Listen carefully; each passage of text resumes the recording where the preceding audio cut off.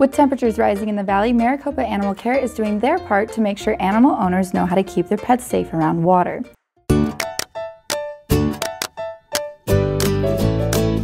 If your dog is home alone during the day, the shelter urges you to restrict your pet's pool access to prevent accidents from happening. Just make sure your barrier is tall enough that your furry friend can't jump over it.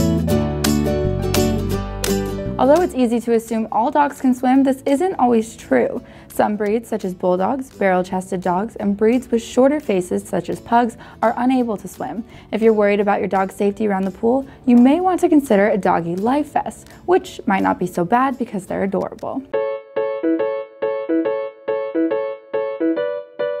And for those of you whose pets love swimming, just make sure they know how to get out of the pool. Maricopa suggests having your pet enter and exit the pool from the same location every time, as well as placing a large visual near the exit of the pool, such as a plant to help your pet locate where the stairs are. As for Maricopa's final tip, they urge pet owners to be cautious of pool chemicals. Try to avoid allowing your pet to drink too much of the pool water as it could upset their stomach, and be sure to rinse your dog off after they finish swimming so the chemicals don't dry out their skin.